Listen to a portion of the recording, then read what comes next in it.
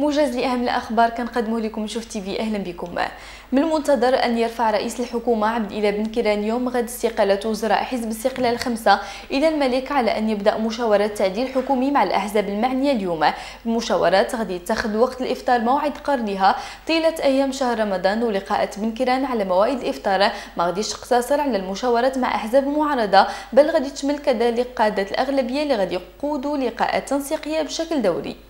على خلفية الإضراب اللي كيخوضوا اليوم وغدا أرباب محطة الوقود من المتوقع أن تعيش اليوم مدينة البيضاء حالة من الارتباك على مستوى النقل بالموازاة مع ذلك كتنوي خمس نقابات مشكلة للتحالف النقابي لسيارات الأجرة خوض إضراب بالإضافة إلى حمل الشارات الحمراء بالنسبة إلى مستخدمي الترامواي.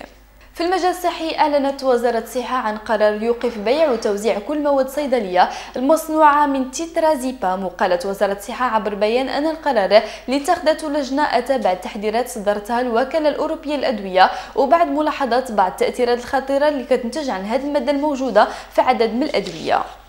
تم اكتشاف حطام سفينة بأسفي بها صناديق من ذهب من طرف غطاس خلال عملية غطس اعتيادية في ساحل جرف أموني المقابل للحي الشعبي تراب الصيني بحيث تم العثور على باخرة أثرية بها قطع من سلاح المدفعية والسيوف ونقود أواني جد نفيسة. الغطاس اللي كيعرف بمدينة أسفي بكونه أو اللي كيتعرف بمدينة أسفي بكونه من هواة الغطس قد أخبر مصالح مندوبية وزارة الثقافة اللي أعلمت بدورها المصالح المركزية. فتم ترخيص لإجراء عملية غطس استكشافية أولية لتحديد مكان حطام السفينة والتحقق من المعطيات. في الخبر يدي تعاقد فريق المغرب التطواني لكرة القدم رسميا مع راعي رسمي جديد للفريق وكيتعلق الأمر بالمجموعة العالمية للاستثمار.